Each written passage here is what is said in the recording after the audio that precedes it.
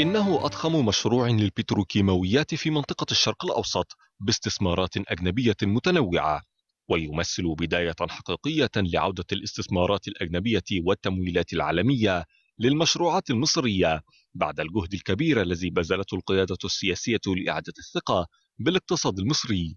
هذا ما أكده الفريق مهاب مميش رئيس المنطقة الاقتصادية لقناة السويس بعد توقيع عقد إنشاء أكبر مجمع للبتروكيماويات في الشرق الأوسط بالمنطقة الاقتصادية لقناة السويس بالعين السخنة أمس السبت تحت رعاية رئيس مجلس الوزراء وبحضور وزراء المجموعة الاقتصادية. إحنا دلوقتي عندنا آه، المناطق الاقتصادية ذات الطبيعة الخاصة دي يعني هي أمل الاستثمار في مصر. في وجود الكيانات الكبيرة والمشاريع الكبيرة بيرفع تصنيف المنطقة. مشروع كربون لإنشاء مجمع التحرير للبتروكيماويات. من المنتظر أن يساهم في تنمية وتطوير المنطقة الاقتصادية لقناة السويس استنادا إلى ما تحققه صناعة البتروكيماويات من نهضة صناعية. كما يعد قاعدة لانطلاق العديد من المشروعات التكميلية التي تتيح فرصة كبيرة للمستثمرين المصريين والعرب والأجانب للعمل في مصر من خلال هذا المشروع. باتفاقية دي بريطانيا تثبت أنها الشريك الأول والدائم الأول للاقتصاد المصري. ونشوف إن شاء الله هنحقق فرص العمل الجديدة أكثر من 20 ألف فرص عمل جديدة لل- للمصريين. وزارة البترول أعلنت على لسان الوزير المهندس طارق الملا أنها تضع على قائمة استراتيجياتها تعظيم القيمة المضافة للثروات البترولية. من خلال مشروعات البتروكيماويات التي تعد قاطرة التنمية. الحقيقة آه، بنرحب بمثل هذه المشروعات الهامة واللي بتيجي في آه، وقت مهم واللي بيؤكد على إن مصر ماشية في المسار الصحيح للإصلاح الاقتصادي والتنمية الاقتصادية بدليل إنه آه، كبرى هذه ال- الجهات الممولة. ما كانتش ممكن تيجي إلا لو كان في مؤشرات جيدة جدا وكذلك الاستقرار ال- ال- السياسي والاقتصادي والأمني بيدعم مثل هذه المشروعات.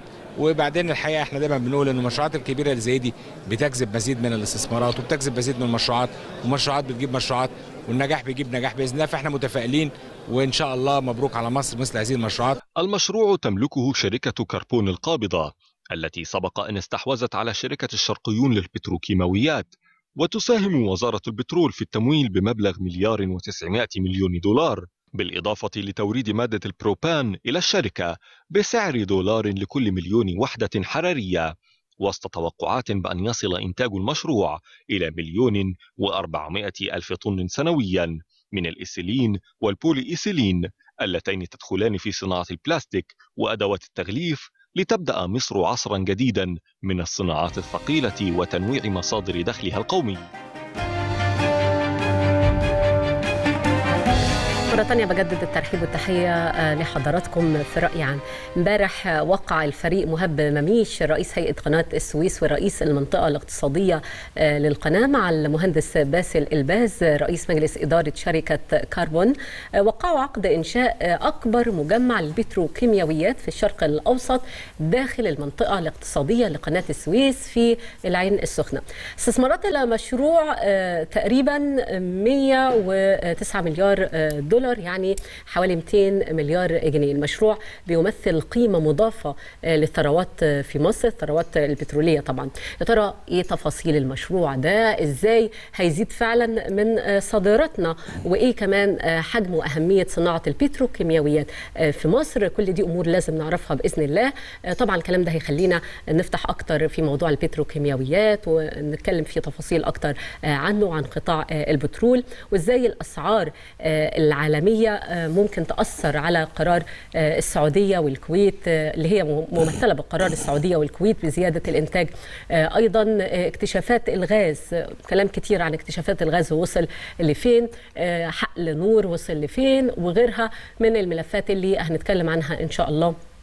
مع ضيفي في الفقرة.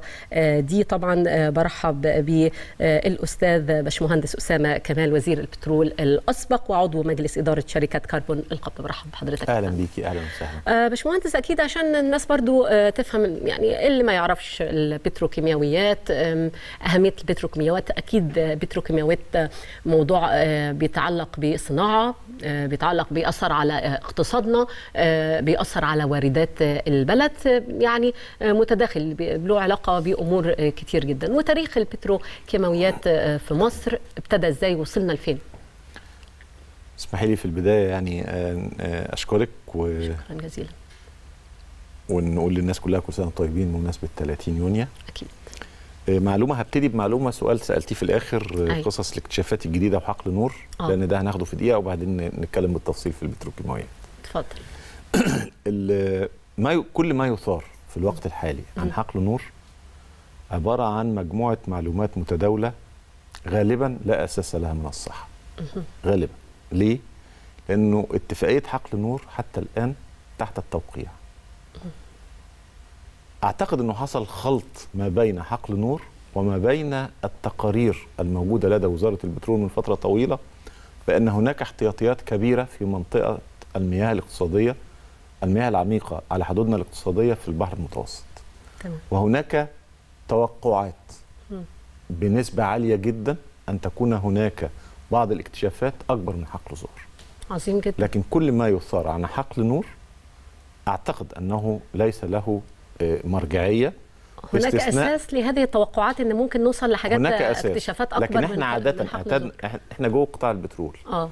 لا وزير بترول سابق ولا وزير بترول حالي ولا وزير بترول لاحق بيعلن عن كشف تجاري لبئر لأن دي مسؤولية الشريك الأجنبي اللي بيتولى عمليات البحث والاستكشاف ومسؤوليته إن هو يقدر الاحتياطي ويبلغنا بيه علشان في بعد كده مجموعة من الإجراءات بتتم اللي هي الاتفاق على الأسس اللي هيبتدي يشتغل عليها الاقتسام والحاجات اللي زي كده.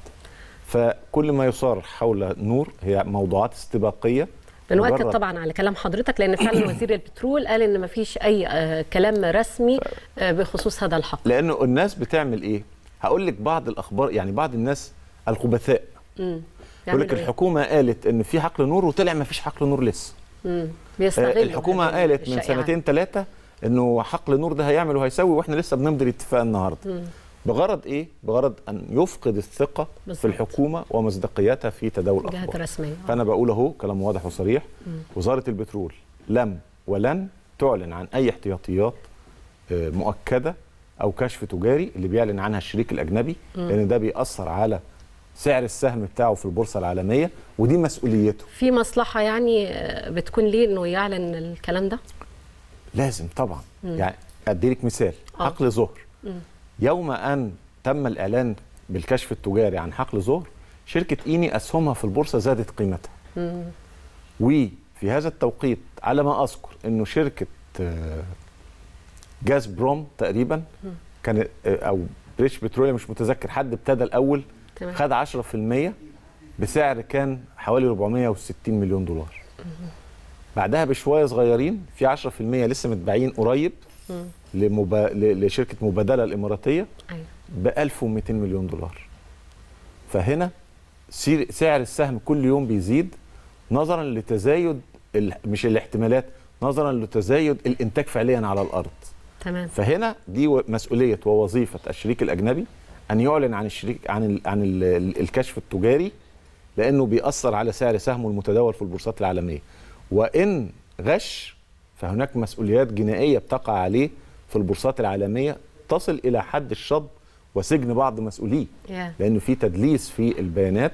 أدت إلى رفع سعر سهم أو خفضه بما يؤثر على يعني بيتسمى تلاعب طبعا فهنا لازم نبقى يعني دقيقين شوية في هذه المعلومات أيوة. وإحنا بنتداولها فده الجزء الأولاني لكن هذا لا يمنع أن هناك تقارير رسمية صادرة من جهات محترمة في أيوة. العالم أن منطقة حوض البحر المتوسط في المياه العميقة تحتوي على كمية كبيرة جدا من الاحتياطات الغازيه تصل إلى أكثر من 200 تريليون قدم مكعب غاز. وهذه الأمور حاليا لا يمكن إن حد يثبت عليها شيء إلا لما يحفر زي ما حصل في حقل الزهر. ده هيحصل إمتى؟ زي ما بقول لحضرتك حقل نور الاتفاقيه بتاعته تحت التوقيع لم توقع بعد. فبالتالي أول لما توقع وتعتمد من البرلمان يبتدي الكلام يشتغل عليه. ما دمنا ابتدينا بال- بالكلام والحديث استهلناه بالاكتشافات والحقول. عايزين نعرف كمان آخر تطورات بخصوص حقل الظهر آه، الإنتاج الش- يعني رايحين لفين في الموضوع؟ حقل ظهر الحقيقة ما تم في مرحله يعني في مراحله سواء مرحلة الإنتاج المبكر أو المرحلة الأولى أو المرحلة الثانية هو عمل آه، جهد ملحمة الحقيقة ملحمة ما بين الشريك الأجنبي والشركات الوطنية المصرية أدت إلى الإسراع وتبكير الإنتاج. للاستغناء عن ال- ال- ال- الغاز المستورد. إحنا كل إحنا يعني كان إنتاجنا وصل ل 6.2 من عشرة مليار قدم مكعب ثم بدأ في الانخفاض نتيجة عدم إبرام عقود لفترة طويلة من قبل 2010 فانخفض إلى ما يقرب من 3.8 من عشرة مليار قدم مكعب في 2014 وهذا الانخفاض كان مؤثر جدا على محطات الكهرباء وعلى المصانع وعلى كل شيء. فابتدينا نعمل إيه؟ عايزين نستعوض جزء من هذا فبدأنا في عملية الاستيراد. أيوه كل مليار قدم مكعب غاز بيكلفنا ما بين 8 إلى 10 مليون دولار يوميا. كتير. يوميا. وبالتالي لما بتبتدي أنت النهارده لما دخلتي حقل ظهر مرحلة مبكرة ومرحلة أولى وعندنا ولا ننسى أيضا دخول نورس ودخول البحر شمال المتوسط. تمام. كل هذه أمور دخلت على خريطة الإنتاج. عوضت كتير طبعاً. عوضت كتير. النهارده الإنتاج يتجاوز ال 5.5 مليار قدم مكعب. غاز. فحصل فيه مع الأخذ في الاعتبار إن هناك برضه انخفاض تدريجي بيحصل كل سنة وده شيء طبيعي نظرا لضغط الآبار بيقل فبينخفض معاه الإنتاج. فلو إحنا اتكلمنا 3.8 في 2014 وبننزل كل سنة في حدود 10% فكان مفترض مثلا نبقى 2.8 من عشرة دلوقتي. ف 2.8 من عشرة من 5.7 من عشرة معناها إنك دخلتي أكتر من 2.7 من عشرة مليار قدم من بقية الحاجات الأخرى. فده رقم جيد بيعوض الانخفاض التدريجي وبيضخ كميات كبيرة.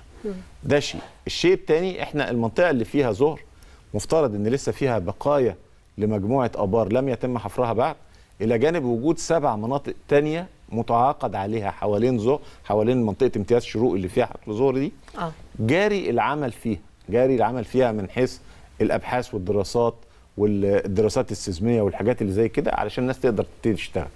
ميزة حقل ظهر إنه عمل إيه كان هناك حالة من الريبة لدى العالم كله بعدما اشت... يعني بعدما عملت إحدى الشركات ال- الكبرى في منطقة مجاورة لحقل ظهر ولم توفق أيوه فإحنا خفنا إنه مش هيحصل فالناس قالوا. إن آه، المياه. الاقتصادية هنا ما فيش فيها حاجة آه. وكان المبلغ اللي اتصرف وقتها كبير كان معدي 600 مليون دولار فبقى في. حالة تخوف لما جه حقل ظهر وو- ووصل إلى أعماق جامدة جدا إحنا بنتكلم 6200 متر من على سطح البحر. يعني 5000 متر من قاع البحر. طبعا. فده عمق جامد. جدا. تكنولوجيات متقدمة جدا. شركات متخصصة جدا التي تعمل في هذا. نسبة مخاطر عالية جدا لأن الناس وهم بيشتغلوا على أعماق معينة. كل ما نزل من ل 1000 متر لسه ما فيش. 1200 ما فيش. 3000 ما فيش. أكتر. 4000 ما فيش. لغاية ما وصل 5000 وشوية تحت سطح البحر. تحت قاع طبعا البحر. بتزيد كل ما بننزل أكتر. طبعا الناس أعصابها بتبتدي تهرب منها أكيد. كل ما بنزود حفر ومفيش إنتاج. النهارده مع وجود هذه الشواهد الإنتاجية فده إدى أمل لكل اللي حواليه وخلاه ابتدى يسرع في الإنتاج. ونفسنا زي ما سيادة الرئيس قال نفسنا في 10 ظهر زي ده في هذه المنطقة. يا رب. لأن إحنا محتاجين الغاز مش عشان خاطر ناخد الغاز ده نحرقه أو نصدره مادة خام. إحنا محتاجين ندخله في الصناعات. التحويلية طبعا. زي البتروكيماويات. ومن هنا نبتدي نخش بقى على إيه؟ على البتروكيماويات. عظيم. يعني إيه بتروكيماويات؟ وصلنا فين في تطوير هذه الصناعة؟ يعني إيه بتروكيماويات؟ في الأصل. هي الصناعة التي تعتمد على البترول ومشتقاته كمادة تغذيه وهنا ليه ما بنقولش الغاز؟ لأنه ده خطأ شائع. الناس تقول دايما البترول والغاز, والغاز هو الغاز فعلاً. إحدى صور البترول من الناحية العلمية. فلما بنقول بترول بنقصد البترول السائل والغازي. تمام. ومشتقاته. لأن أنا ممكن آخد مادة البترول اللي هي في حالتها الغازية دي زي الغاز نفسه زي ما هو وأدخله على مجموعة من الصناعات التحويليه التحويلية أطلع منه سماد ودي صناعة بتروكيماويات.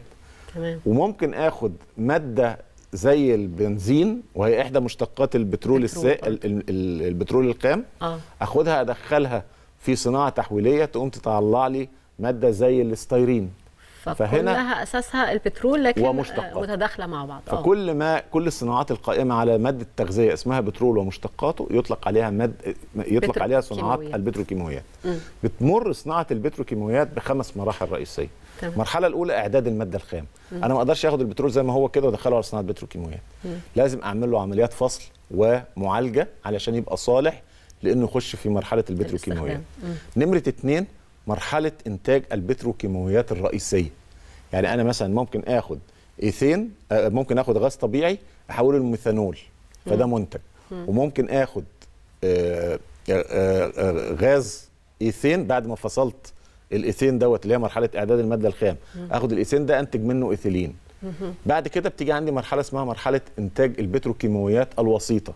الإيثيلين ده أحوله إلى مادة وسيطة زي البولي ايثيلين مثلا أو حاجة. تمام. بعد كده في عندي آه، مراحل أخرى إن أنا ممكن يبقى أحط مركبين على بعض وأطلع منتجات. عفوا دي كانت المرحلة الثالثه إن أنا أحط مركبين على بعض وأطلع منتجات, منتجات. اللي هي الوسيطة. أيوة. المرحلة الرابعة إن أنا أنتج بتروكيماويات في شكلها النهائي اللي هي زي البولي ايثيلين زي البولي بروبايلين وخلافه. المرحلة الخامسة وهي دي المرحلة المفيدة إن أنا أطلع منتج نهائي قابل للبيع في السوق. زي إيه؟ حضرتك انت وأنا بقول بولي ايثيلين يعني إيه بولي ايثيلين فعلا. المنتج النهائي بتاع البولي ايثيلين مثلا إيه؟ مواسير الغاز الطبيعي الصفراء لعب الأطفال. آه غطاء أزايز المية. آه دعامه القلب. حاجات زي كده دي منتج بولي ايثيلين. فهنا بتمر صناعة البتروكيماويات بالخمس مراحل مراحل. صناعة البتروكيماويات عفوا بدأت في مصر في سنة 47 بمصنع لإنتاج السماد في منطقة عتاقة وده عمله عبود باشا. ثم بدأت تخش صناعة البتروكيماويات على إنها صناعة القيمة المضافة لما معامل التكرير ابتدت تبقى منتجاتها غير مفيدة وغير مجدية اقتصاديا. فبدينا نعمل مصنع في آه، اسكندرية في العمريه مثلا لإنتاج مادة اسمها اللينر الكايل بنزين وديت مادة اللي هي المادة الخام لإنتاج المنظفات الصناعية. تمام. ثم توقفنا شوية فترة الحروب 67 و73 وخلافه وبدأنا نرجع تاني لصناعة البتروكيماويات في بداية الثمانينات 82 83 بمخطط إن يبقى عندنا مجمع كبير للبتروكيماويات في منطقة المكس في الإسكندرية وده اللي اتعمل عليه جزء منه ال... يعني جزء من التخطيط العام اتعمل منه مشروع الأولاني اللي هو كان مشروع ال polyvinyl chloride بتاع شركة البتروكيماويات المصرية اللي موجود في منطقة العامرية. هذا المو... يعني هذا ال- ال- ال- المشروع طاقته الإنتاجية كلها على بعضها كانت 85 مليون 85 ألف طن في السنة.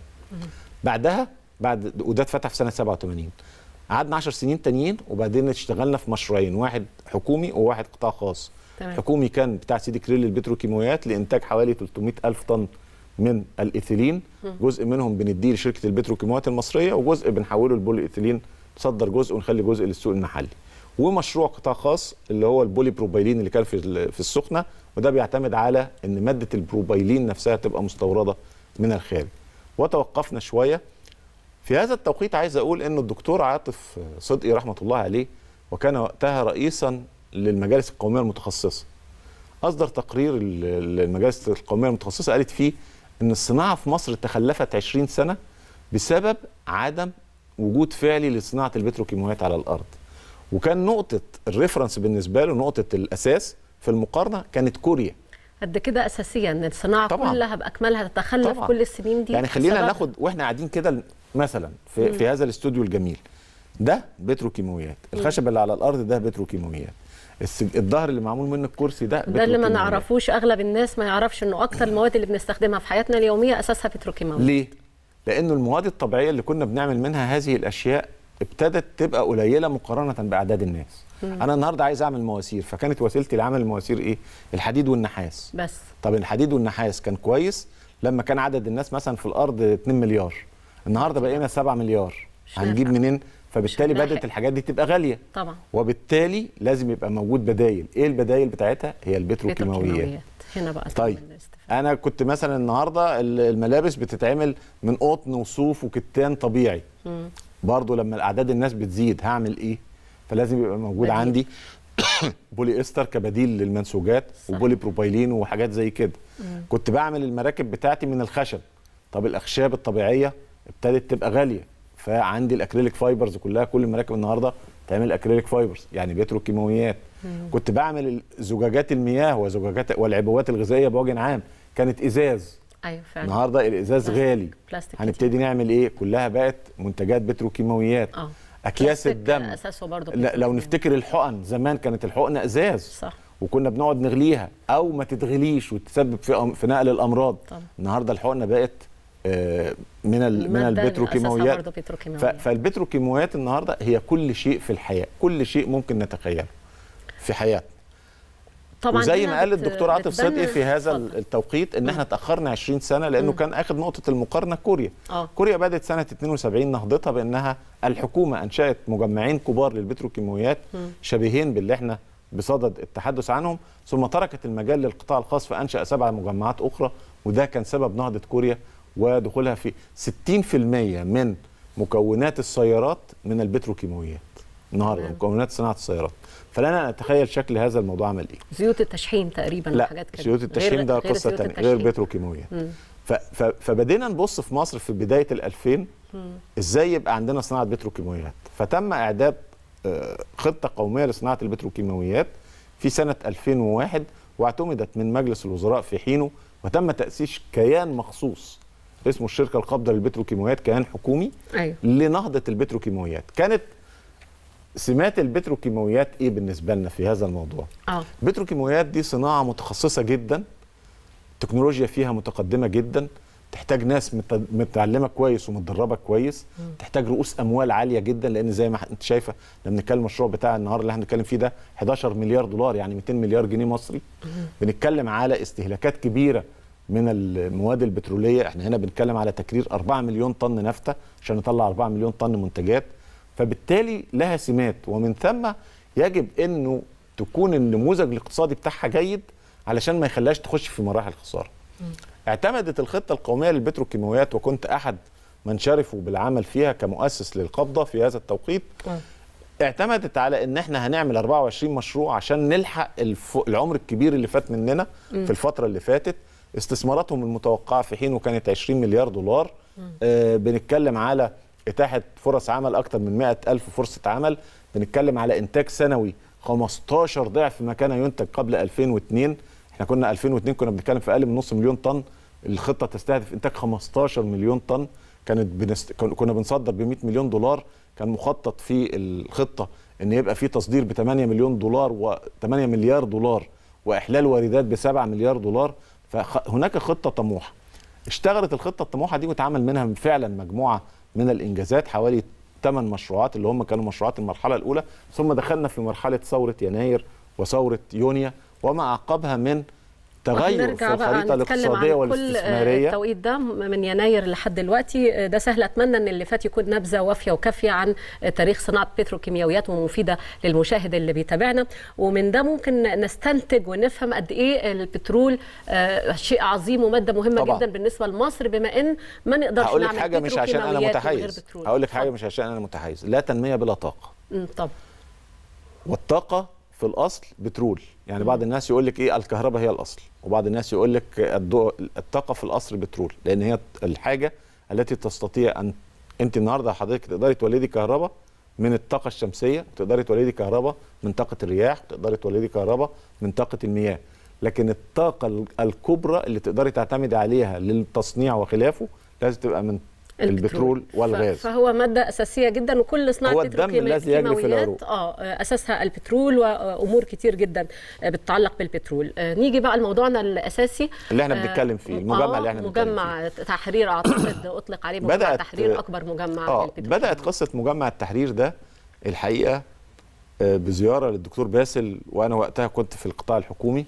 زيارة ليا قال لي إحنا عايزين نعمل مشروع كبير للبتروكيماويات. تمام. ومستهدفين انه حاجة تبقى من الحاجات اللي موجودة مخططة في آه، خطة الدولة. وكان عامل تصور لمشروع كان أصغر من كده الحقيقة. وبدينا نبص على هذا المخطط ونشوف إزاي ممكن نقدر بالتعاون ما بين القطاع العام والقطاع الخاص نقدر يعني نشوف هذا الموضوع. أيوه. بدينا نعمل نجهز نموذج مالي واقتصادي لهذا المشروع.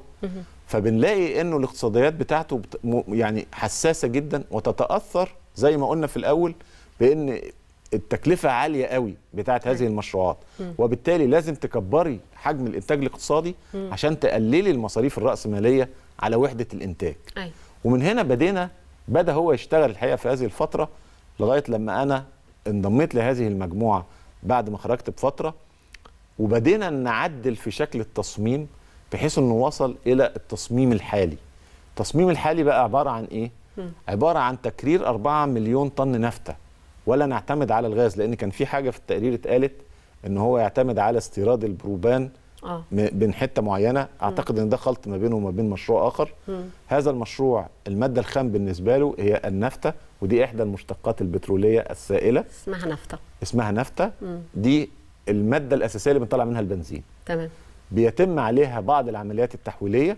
نقوم نطلع منها مواد اسمها إيثيلين وبروبايلين وبيوتادين. زائد اطفات أخرى من السولار والبنزين اللي هي آه، موجودة نتيجة هذا التفاعل الكيميائي. ابتديتوا رسم المشروع وشكله هيكون؟ بدينا نشوف رسمه شكله عامل إزاي وبدأت بيوت الخبرة الأجنبية. ال- ال- العالمية تشتغل وتعمل معاه نموذج حاجة اسمها نموذج اقتصادي.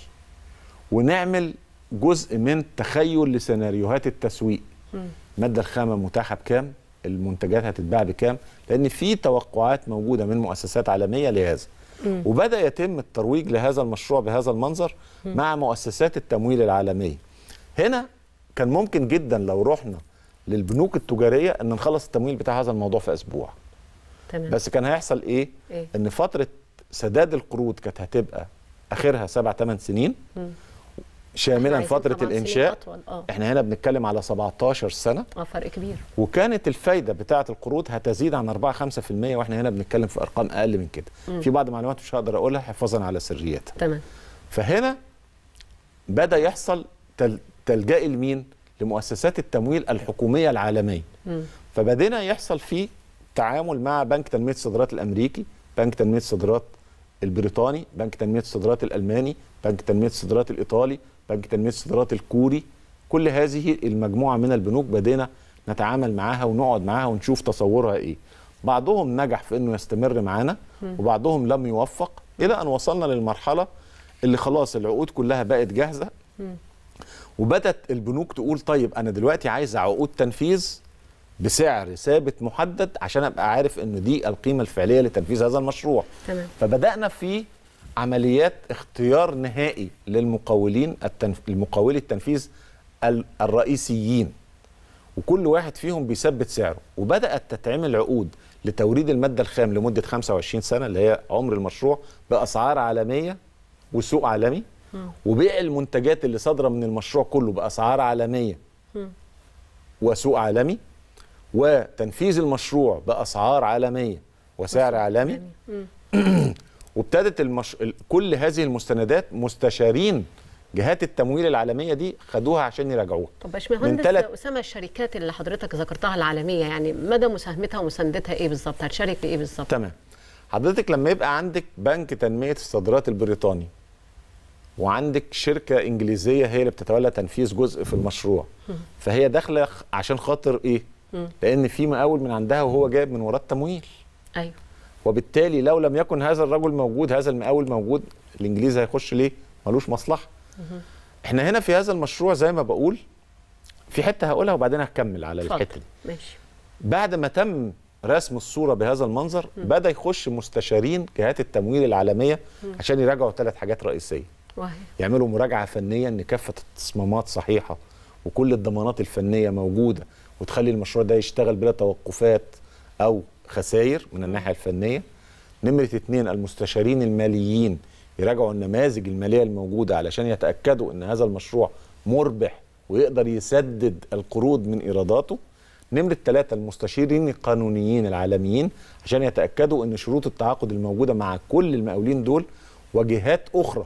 يعني إحنا مثلا الأرض في عقد مع منطقة قناة السويس. ال- ال- المينا في عقد مع هيئة موانئ البحر الأحمر. آه، ال- في جزء من المشروع معمول على أرض ن- في مصنع لازم نملكه يطمنوا إحنا ويتاكدوا كل لازم- التفاصيل دي ويرجعوا للجهة ال- الأخرى؟ جزي جزيئة يعني جزئية مراجعة العقود دي لوحدها خدت لها أكتر من 18 شهر. آه. عشان كل الناس دي تبقى مطمنة. وبعدين في الآخر بتجيبي حد مايسترو. في عقد مع هيئة موانئ البحر الأحمر. آه في جزء من المشروع معمول على أرض في مصنع لازم نملكه إحنا ويتاكدوا كل لازم- التفاصيل دي ويرجعوا للجهة ال- الأخرى؟ جزي جزيئه يعني جزئية مراجعة العقود دي لوحدها خدت لها أكتر من 18 شهر. آه. عشان كل الناس دي تبقى مطمنة. وبعدين في الآخر بتجيبي حد مايسترو يبقى مسؤول عن إدارة عندك. المشروع ده بالكامل. آه. تضمن الحقوق تضمن جهات التمويل إنه له سمعة طيبة في إدارة المشروعات وبالتالي يبقى مطمن إن المشروع ده هيخلص في ميعاده بتكلفته دون أعباء. لأن المشروع لما هم بيتأخر هم عن- عندهم في التفاصيل دي دقة فظيعة جدا لازم يطمن. بشكل آه بالحرف. بشكل لأنه المشروع لو اتأخر بيبتدي تتكسر عليه فوائد وديون فيبتدي مين مين أكتر ناس بتتأثر؟ الناس المقرضة في هذا التوقيت لأنه طبعا. هم حاطين فلوس فلوس. أكتر من المساهمين. طبعا. فهنا دي خلصت جزئية التمويل وهنا بنقول إيه؟ إيه مزايا هذا التمويل بالتحديد طب هنرجع تاني نجاوب على. السؤال ده استأذن حضرتك نشوف بس الجرافيك ده آه، عن أرقام آه، في هذا المشروع الكبير آه، مشروع مجمع التحرير للبتروكيماويات وإن شاء الله هيكون أكبر مشروع البترو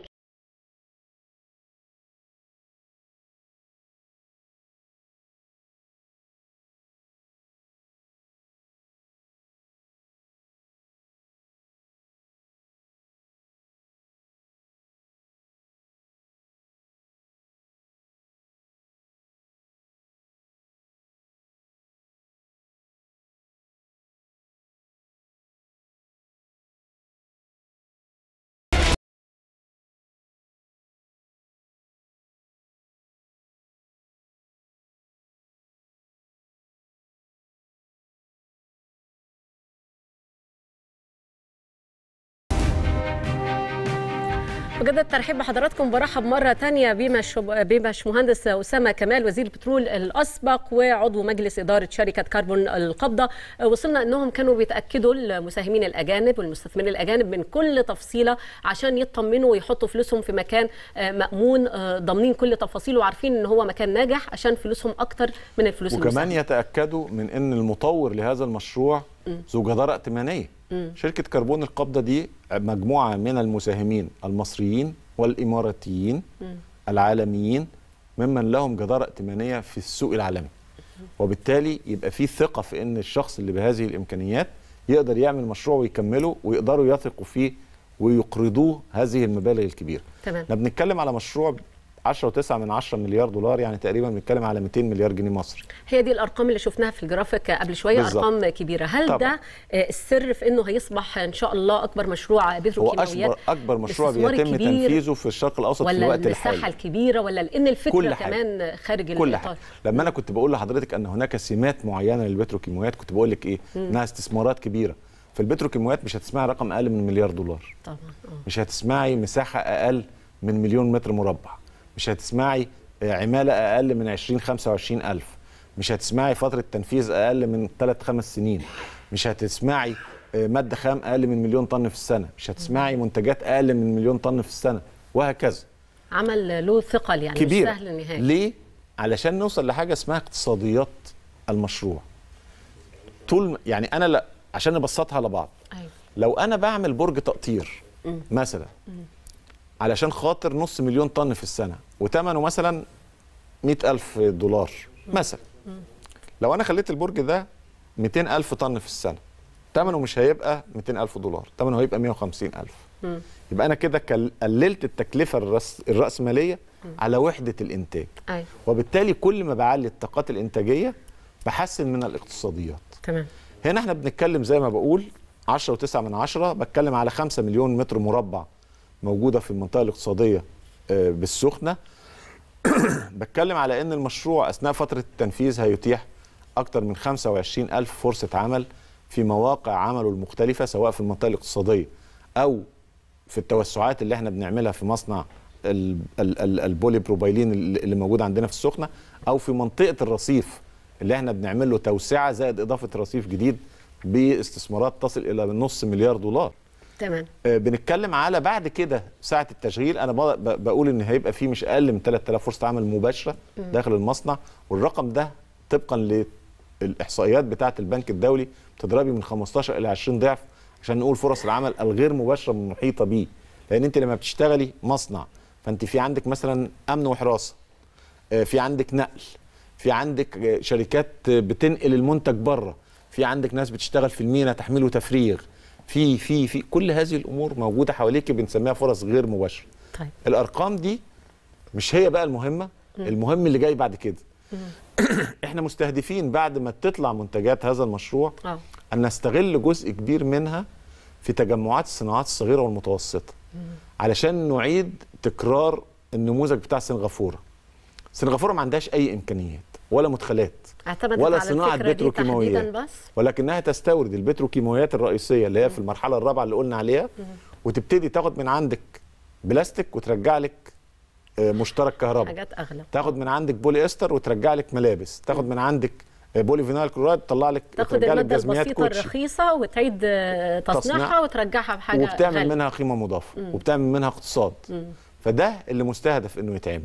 في هذه المرحلة لو لما نوصل لها بالكامل إن إحنا نقدر ناخد كم الإنتاج كله ون ون ون ونشغله محليا ويبقى بصدر منتج نهائي وأسد حاجة سوق محلي بدل استيراد أنا بتكلم في حجم تداول زيادة عن 14 مليار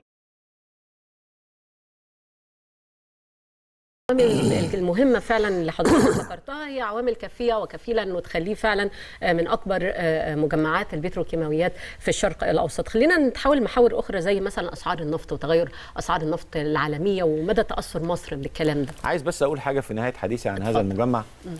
الحقيقة إنه الدعم اللي خدناه من الدولة في الفترة الأخيرة وتفهمها لصناعة البتروكيماويات وضرورية إقامتها حتى لو كانت قطاع خاص مفيد جدا.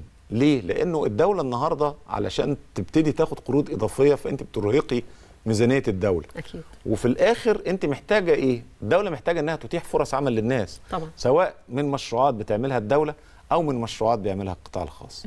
وبالتالي هنجد إنه مثلا في مشروعات البنية الأساسية لا يقبل عليها قوي القطاع الخاص لأنه استرداد رأس المال بيبقى على 15 20 سنة.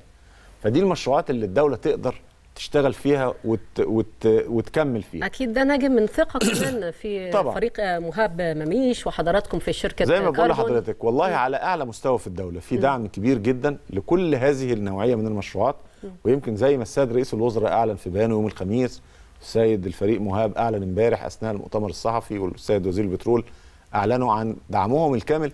لمثل هذه النوعية من المشروعات. إحنا يا جماعة محتاجين سبع ثمان مشاريع زي دي. طبعا ما هو بال... عشان بالنسبة للكلام اللي. ذكرته حضرتك فعلا الموضوع عشان الاقتصاد مهم يقوم. مهم كبير جدا آه، بشكل كبير. اسعار النفط العالمية ومدى تأثر مصر بهذه الأسعار؟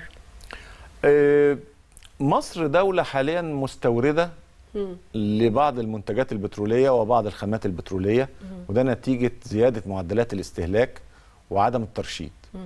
في عندنا استهلاك كبير جدا مثلا في مجال توليد الطاقة الكهربية نتيجة الضغط والزيادة المضطردة في الاستهلاك الكهربي اللي لازم يقابلها توليد كهرباء إضافي لتغطية احتياجات السوق. في عندنا استهلاك كبير جدا في وسائل النقل والانتقال. آه، الحاجة اللي كنت أتمنى إن الاستهلاك يبقى عالي فيها الصناعة وما هواش للأسف. للأسف. يعني لما نيجي نبص على في ال- الاتجاه لده ولا لسه؟ أتمنى إن إحنا نكون في هذا. الاتجاه. من خلال إن إحنا ندخل مجموعة من البدائل اللي نستخدمها يعني مثلا أنا عايز في مجال الكهرباء أبتدي أقلل شوية ال- النهارده كهرباء تعتمد على تول... على البترول بنسبة 93% في توليد الكهرباء. نفس الرقم ده يتراجع إلى 30 35% وأشوف فيه طاقة رياح أشوف فيه طاقة شمسية أشوف فيه طاقة من الفحم أشوف فيه طاقة نووية. أيوة. نفس الكلام بالنسبة لوسائل النقل والانتقال. برضه بنسبة 100% نقدر نقول النهارده شغالة على البترول والغاز. تمام. لا أنا عايز أشوف العربيات الكهرباء اللي هي شغالة بديلة حسب علشان خاطر نقدر نتكلم توفير. كبير جدا آه فهنا ليه ده بيأثر علينا في, في, في ليه أسعار البترول بتأثر علينا؟ لأن زي ما بقول لو أنا مكتفي ذاتيا مما أنتجه من البترول كانت هتبقى الأسعار في إيدي وأنا اللي بتحكم فيها. أيوة. لكن نظرا لأني بستورد جزء يمثل 35 40% من استهلاكي فأنا تحت رحمة السوق، تحت رحمة الأسعار العالمية. في نفس الوقت محددين بموازنة معينة يعني مش وأنا وأنا بعمل. موازنة لازم يبقى في عندي تقديرات. أنا مش هخش الموازنة أقول لهم والله يا جماعة أنا مش عارف السنة دي البترول هيبقى بكام وشكل الاستهلاك عامل إزاي. فهناك هل تقديرات. تقديرات مناسبة للي ممكن يطرأ ولا بقدر ممكن المستطاع يصدمنا؟ بقدر المستطاع. يعني إحنا بنرى إنه الأسعار العادلة للبترول يجب ألا تزيد عن 65 دولار. يعني من 60 ل 65 ده سعر عادل جدا للبترول للمنتج وللمستهلك. أيوة. ما يزيد عن ذلك بيبقى خسارة مكسب للمنتج مم. وخسارة للمستهلك. هنلاقي إن إحنا المز... الموازنة بتاعه 2016 2017 مثلا أيوه كانت معمولة على آه، حاجة و50 دولار. متوسط الموازنة خلال العام الماضي كان حاجة و60 دولار. فنجد إن الرقم اللي كان مستهدف مثلا إن إحنا نوصل ل 85 ده يمكن يعدي ال 100 وشوية. المستهدف بالنسبة للسنة الجديدة مبني على إيه؟ على تقديرات إيه؟ على تقديرات إنه سعر برميل البترول 67 دولار. بعد الموازنة ما اتعملت حصلت الأزمة بتاعت إيران. وبالتالي بدأت أسعار البترول تزيد شوية. النهارده بنتكلم في حوالي 76 77 دولار. كل دولار زيادة في سعر البرميل نظرا للجزء اللي إحنا بنستورده له تأثير سلبي على موازنة ده اللي بنتكلم عنه. بأكتر من 3.5 إلى 4 مليار جنيه. بالظبط آه. مبلغ. فبالتالي إحنا النهارده بنتكلم في عندنا 10 دولار زيادة. يعني إحنا داخلين مبدئيا وربنا يعني يخيب ظننا ب 35 مليار عجز نتيجة ارتفاع أسعار خام البترول في السوق. نتمنى إن إحنا نقدر إحنا على فكرة نقدر نوفر الرقم ده إزاي؟ بسهولة إزاي؟ بسهولة جدا بسهولة جدا. إزاي؟ نمرة واحد أنا عايز أشوف من هو المستهلك الأكبر بالنسبة لي من البترول والغاز؟ الكهرباء. كيف أقلل احتياجاتي من الكهرباء؟ من غير ما أخش بقى في بنى محطات جديدة وحاجات زي كده. آه. أول حاجة الإضاءة المنزلية وإضاءة الشوارع. ترشيد يعني. دول بيستهلكوا ما بين 6 إلى 7 جيجا وات ساعة دول أقدر أخليهم اتنين. عن طريق إن أنا أخش بلمبات LED وأخش بيه الت- سيادة الرئيس. يمكن من بداية توليه المنصب أكد على النقطة دي وقال يا ريت كل بيت مصري يجيب لمبات ليد دي لا عارفة دول يوفروا. وقود سنويا بكام؟ كتير أكيد من 3 إلى 4 مليار دولار مم. مبلغ طبعا 3 إلى 4 مليار دولار وده يعني رقم والله كل رقم نسبة كبير جدا الوعي كافية لكل نمرة اتنين. في كل أسرة عايز أبتدي أشجع دخول السيارات الكهرباء أيوه عشان تحل مكان العربيات اللي موجودة عايز أتوسع في عملية آه، تحويل السيارات للعمل بالغاز. تمام. النهارده بعد حتى غلو الأسعار متر الغاز اللي هو يكافئ لتر بنزين ب 3 جنيه إلا ربع. يعني مجموعة مقارنة إجراءات آه، يعني سهلة بقى أسفة على المقاطعة سهلة سهلة وتقدر تخلص في أقل من يعني نقدر نخلصها. في وقت قليل جدا ما دام في مقترحات آه، زي اللي حضرتك بتقولها متوفرة وسهلة في نفس الوقت مش هتكلف الدولة حاجة إن شاء الله آه، تبدي العمل فيها إن شاء الله. برضو بالنسبة للقرارات الجديدة مهم جدا الناس كلها بتسأل عن موضوع بنزين 80 ليه هيتم إلغائه ويتم استحداث بنزين 87 آه، إيه فايدته إيه الفرق ليه اتخذت الوزارة هذا ال- القرار ممكن حضرتك تسأليني سؤال؟ آه، آه، أسألك سؤال؟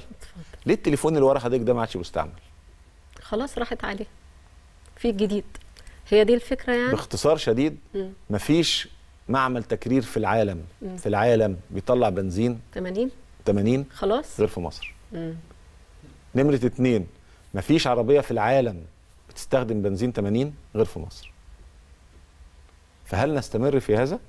هل نستمر في إنتاج التلفزيون الأبيض وأسود؟ هل هذا مطلوب؟ مش مطلوب. طب إيه سبب الضغط على البنزين ال 80 هنا بقى ده السؤال. آه. بنزين ال 80 بيستخدم بيستخدم في صناعة البويات والمذيبات. مكان مادة تانية. وطبعا بسعره الحالي هو رخيص جدا بالنسبة لمستخدمي هذه المادة. وبالتالي يوجد عليه ضغط بهذا المنظر. عايز أقول معلومة كمان البنزين 80 لوحده يمثل 50% من استهلاك البنزينات مع إن عدد السيارات التي تستهلك البنزين ال 80 لا يمكن بأي حال من الأحوال أن تستهلك هذا الرقم. يمكن المواطن اللي ورا القصة. فارق معاه أكتر موضوع السعر إنه أكيد كده ممكن السعر هيكون أغلى عليا لا لكن مش. بيفرق معاه موضوع إنه لا يا 80 فندم. في تلوث أكتر أو هيأثر مش تلوث لا. يبوظ له العربية. تبوظ لا العربية يمكن عربية النهارده تقدري تحط فيها بنزين 80 من العربيات الجديدة. ده في بعض عربيات ما تقدريش تحط فيها أقل من 95 هل في. هيكون مثلا خطه برضو لمراعاة موضوع السعر ده؟ جاري جاري دراسة البدائل إن آه. يبقى في بنزين يعني تدريجيا مع خروج العربيات اللي هي بتستعمل البنزين 80 دي العربيات اللي بتستعمل 80 دي يعني عربيات الستينات والسبعينات. آه. فهي عربيات النهارده يعني تأثيرها السل... على البيئة سلبي جدا نظرا للعادم بتاعها. وعلشان كده ما عادش على- حد بينتج ما حدش بين... واستهلاكها كبير كمان. استهلاكها كمان أنت متخيلة مثلا العربية ال 132 2000 ده 2000 CC. طيب. العربيات الجديدة كلها أقل من 1600 طيب فاستهلاكها كبير. إحنا من يومين لسه امبارح كنا بنحتفل بذكرى 30 يونيو ثورة 30 يونيو المجيدة. آه، كل سنة وجميع مشاهدينا طيبين. ثورة أنقذت مصر آه، الحقيقة من وضع الوضع تاني خالص ويمكن آه، وقتها في نتائج سلبية لأن أي ثورة بيكون في مثلا نتائج في الاقتصاد نتائج لكن الحمد لله القيادة السياسية قدرت تتلافى ذلك ونتجه بالعكس إلى التقدم أكتر من خلال مشروعات كتير. بتمثل حضرتك إيه ثورة 30 يونيو؟ بالأخص طبعا آه، مشاهدين يمكن ما يعرفوش حضرتك كنت أحد الوزراء آه، في آه، سنة 2012 تحديدا وقت حكم الإخوان. وخرجت يوم 6 5 2013 قبل ثورة 30 يونيو عندما بدأ الإخوان في التخلص من كل ما هو ليس إخواني. بالظبط. فخرجنا كمجموعة اقتصادية تقريبا بالكامل. مم. ثم حدثت بعدها حركة محافظين برضو لإخراج كل من هو ليس من هذا التيار. فخرجنا كلنا. لاقصاء نهجهم طبعا. البلد في هذا التوقيت تعرضت في يعني لحالة صعبة جدا من ال من الإقصاء للناس ودخلنا في مرحلة الاعتماد على فصيل معين. وده كان أسوأ من ما حدث قبل 2011 يعني إحنا في 2011 كان في عندنا تزاوج ما بين مال وسياسة وبقى في سلطة آه، مسيطرة وبقت هم دي الناس اللي حاسة بمعدلات النمو وخلافه وبقية الناس مش حاسة بيه. آه. ما حدث من 2011 ل 2013 هو بنفس المنظر من فصيل آخر. آه، فصيل لم تكن لديه الخبرة والدراية الكافية ولا لحكم بلد بحجم مصر. طبعا. كانت رغبته في الإسراع بأنه هو يعني يستولي على الحكم أسرع من إمكانياته في هذا التوقيت.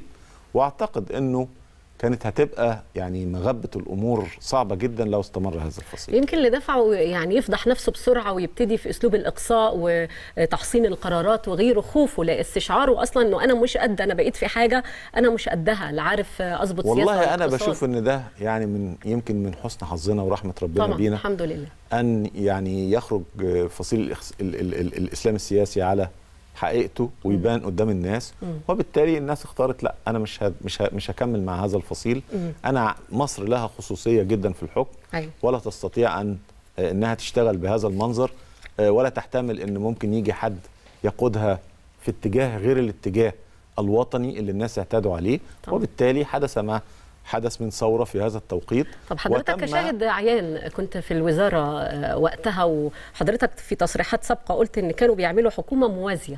عايزين نعرف تفاصيل أكتر سريعا والله أنا قلت هذا الأمر وأنا موجود ده. أنا قلت هذا الأمر وأنا موجود في الحكومة وأخذ ويعني أخذت عليه. بس ده كان شعور بالنسبة لنا كلنا. إحنا في حكومة موجودة بناخد قرارات وبعدين تبص تلاقي في جهات أخرى بتاخد قرارات مضادة ويقول لك لا اوقف هذا.